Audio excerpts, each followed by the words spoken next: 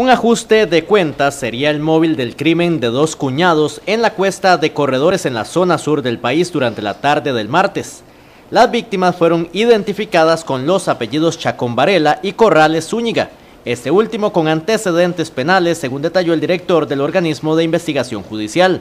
El primero de ellos presentaba impactos de bala en espalda y en la palma derecha de su mano, y el segundo en la cabeza. Con el móvil, que en este momento eh, tiene carácter hipotético, es que esto se relaciona con un asunto de eh, tráfico de drogas o esa es la actividad subyacente que pudo haber determinado esta circunstancia. Incluso Cristian Corrales Zúñiga, que es uno de los fallecidos, que tiene 38 años de edad, ya tiene pasadas policiales por este delito. Los fallecidos eran de San Vito de Cotobruz y se dedicaban al comercio. Los hechos se produjeron en unas cabinas clandestinas que en apariencia fueron alquiladas días atrás por un hombre de nacionalidad panameña. Los reportes que recibió la policía indican que hubo eh, una especie de discusión eh, y una balacera que coincide con los datos que nosotros eh, logramos compilar como consecuencia de la presencia en el sitio. Los dos sujetos a los que yo hago mención estaban dentro de las cabinas, que como les señalo son eh, locales de carácter informal. Eh, uno de ellos estaba en, el portón de la entrada de la cabina y el otro estaba en el interior de la cabina. Pero como les señalé, cuando nos presentamos al sitio ya ambos habían fallecido como consecuencia de los impactos de bala que habían recibido.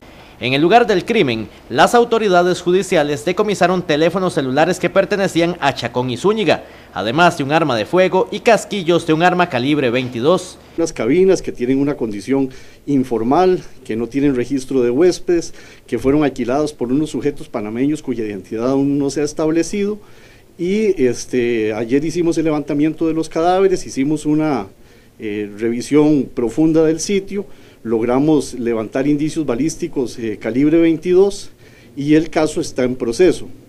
El vehículo en el que se desplazaron estas dos personas al lugar se localizó por parte de la policía costarricense, pero está en el sector fronterizo del lado panameño.